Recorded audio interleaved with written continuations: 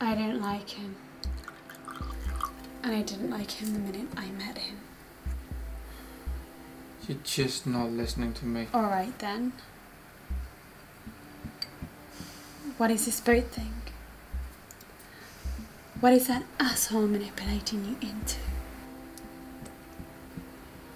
Just helping him out with something, that is all. I owe him. You owe him? Cokehead. I can't believe you hang around with that guy. He's sick.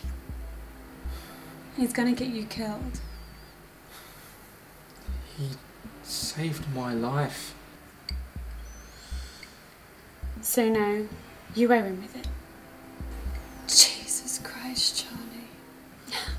You give me this whole song and dance of how you ran at this shit. But you're not. Song and dance. What does that even mean? Song and dance. Where'd you get that? From what? Why did you make me believe all that shit about the Bahamas and the paradise? I feel ridiculous. And you haven't changed. You haven't changed one bit.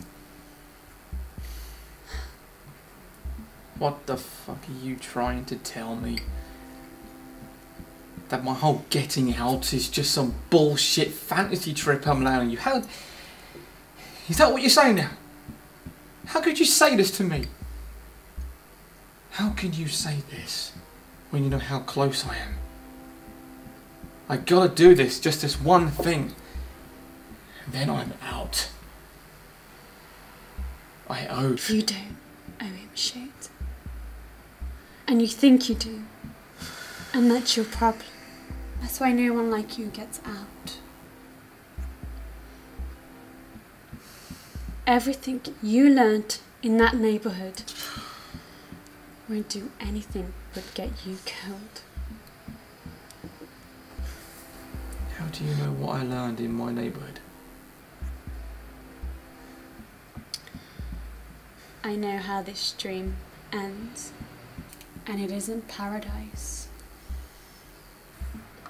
It ends with me carrying you into sudden emergency at 3 a.m.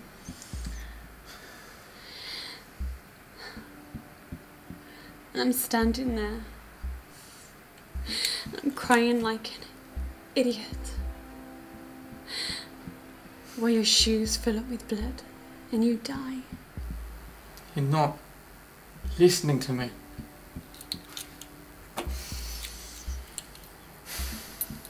Dave is my friend. I owe him. So whatever he does, you do. Don't do this for me. Please.